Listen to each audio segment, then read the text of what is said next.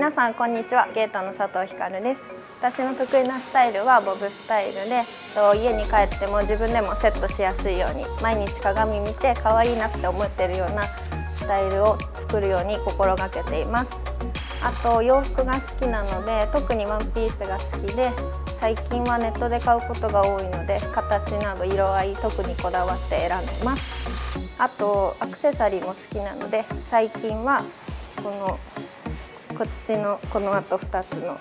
アクセサリーでここのお店はテンっていうお店でシルバーとゴールドのアクセサリーメインで売ってるのでぜひ調べてみてください。最後に20代のお客様からたくさんの指示を受けているので学生の間でしかできないこととかデザインカラーとか